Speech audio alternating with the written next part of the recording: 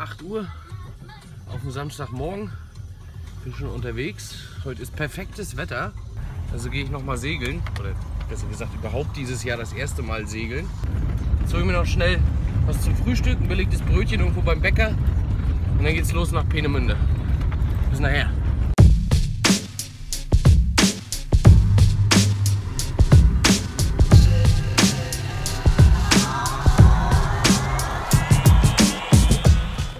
Angekommen, in Peenemünde, auf dem Boot. Die Segel haben wir auch schon frei gemacht. Jetzt geht es gleich los. Perfektes Wetter, Sonnenschein ohne Ende. Total geil.